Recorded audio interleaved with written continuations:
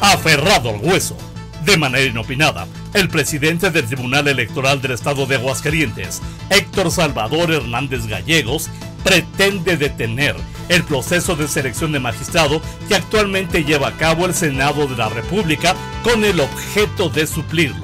Para ello, Hernández Gallegos interpuso de manera directa ante la Sala Superior del Tribunal Electoral del Poder Judicial de la Federación un juicio para la protección de derechos político-electorales del ciudadano. Un amparo, pues, en contra del acuerdo tomado en la Junta de Coordinación Política de la Cámara Alta, mediante el cual se emite la convocatoria para ocupar magistraturas en tres tribunales electorales de la República, entre ellos Aguascalientes. Y es que en dicho acuerdo de la Jucopo del Senado se establece la necesidad de designar a un relevo del propio Salvador Hernández Gallegos, del que los senadores tienen muy presente fue elegido en 2017 para un periodo de siete años que están por vencer en los primeros meses de 2024. Pretendiendo eternizarse en el cargo, el cuestionado presidente del Tribunal Local Electoral